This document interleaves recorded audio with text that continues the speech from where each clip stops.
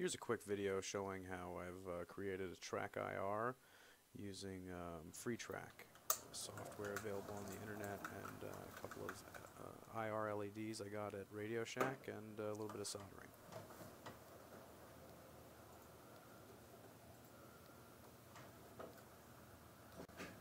Notice the uh, headset is just uh, basically a broken piece of coat hanger and some electrical tape uh, to hold the wires and LEDs in the correct spots.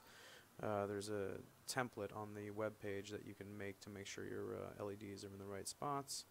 And then with a little bit of calib calibration uh, and possibly some fixes on the the free software, you get everything going, and it's pretty straightforward and easy to use once you've got everything up and running.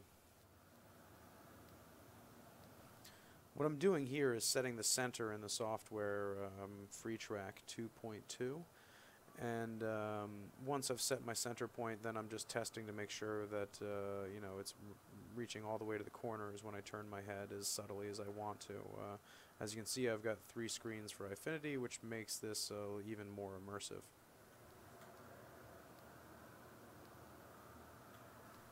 Now I'm dumping right into ARMA 3 Alpha, where I've, uh, I'm actually already in a uh, helicopter and it's all spooled up, so I just uh, come right off the ground on, uh, on my alt tabbing in.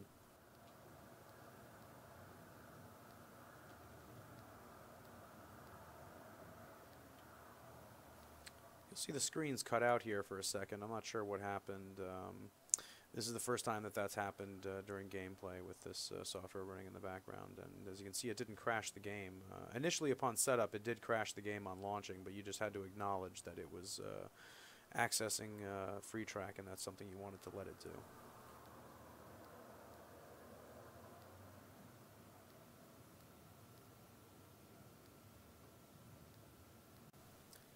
Now, after some tuning of the settings, uh, I've got it basically where I want to be, where it's pretty sensitive moving side to side, uh, but up and down takes quite a bit of effort to actually uh, instigate the look up and look down.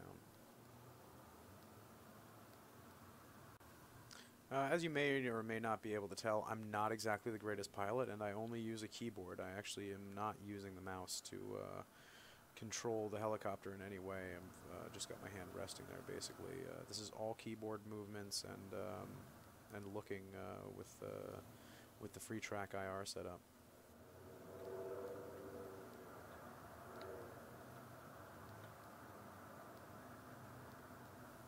Further, uh, something uh, that's worth noting is I almost never fly in first person. I'm very accustomed to flying in uh, third person. This was maybe the second or third attempt at making a first person um, flight, and uh, as you can see, it becomes really natural and really effortless. Where I've tried this before. Uh, with controlling the camera view uh, with Alt as I normally would in gameplay, and it's really hard for me to do sitting inside the cockpit to get in sense of things. But here you can see I'm able to really brush the top of the tree, uh, the treetops, which I have never previously been able to do.